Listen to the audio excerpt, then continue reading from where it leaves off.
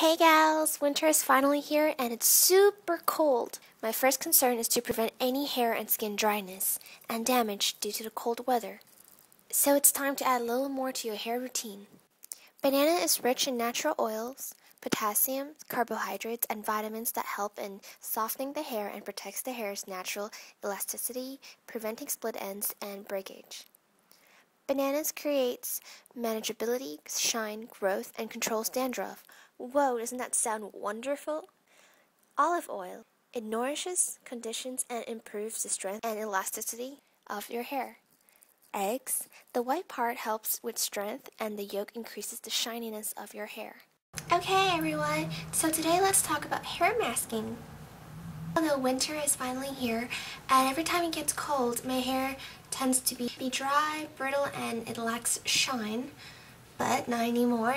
So I decided to do a little research on some hair care tricks. And it turns out that one of the best way to keep your hair looking healthy during cold wintry weather is with the help of hair masks. So there's so many remedies, ingredients, and all that. Everybody has their own favorite.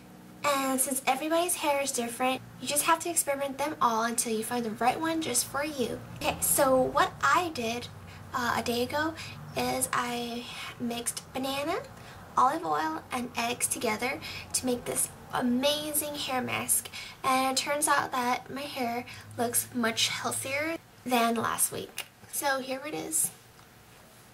You can even add yogurt, mayo, etc. There's so many ingredients out there like I mentioned earlier. But I really do prefer yogurt during the summer days since it has cooling properties in it. I usually eyeball the amount of ingredients to make my hair mask. Um, if you have thick or long hair, you probably need more of each. But nothing can go wrong. Everything is good for your hair, especially if it's all natural. No like, you know, harsh chemicals involved. So, um, all ingredients you pick is good for your hair. But warning though, the banana one, make sure you puree the banana. The result of the banana has to have like the baby food consistency. If you just mash them up and it looks like it's ready, don't do that because I've done that and it turns out you will end up with banana chunks in your hair after washing them and you gotta like pretty much comb it off and pick them up and I'm pretty sure you don't want to do that and that can get really annoying for some people especially me. Mix the banana with the olive oil and the egg both the white and the yolk because they are both good for your hair.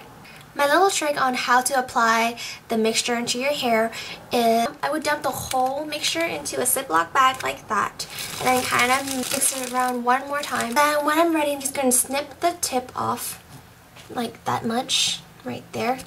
And then it'll look like um, an icing bag and you just pretty much squeeze it in, onto your hair and apply it like that. So by doing this, it's much easier and less mess. I recommend um, dividing your hair when doing the mask because it'll help distribute the mixture evenly onto your head. Oh, an important part. After getting the mixture onto your head, don't forget to massage.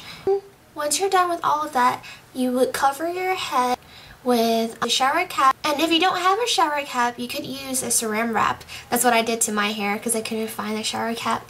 So I just pretty much um, got a whole sheet of saran wrap and just wrapped my head in it and it stays pretty well. And you know, I just kept it in for 30 minutes. You can always go longer than 30 minutes if you want. Um, for me, I think 30 minutes is just great. Make sure you rinse your hair with cool water because I'm sure you don't want to cook the eggs or the banana because that would that can be really ugly. Oh, and also washing your hair with cool water adds extra shine to your hair and gives that healthy look afterwards. And after all of that, shampoo and condition as usual and style the way you want. But try to stay away from um, any um, heated stuff as in like the blow dryer when you dry your hair try to dry with like you know the cool setting or the lowest temperature you can. So that way you know your hair won't look too dry. Or even towel dry your hair that helps too So that's it. I hope you enjoyed my little talk on some hair mask. And if you enjoy it or something, you can definitely try it out and let me know how you like it. And feel free to share some stories of your hair mask experience and all of that and other ingredients that you find it really um, helpful and that works. I really love reading stories like that.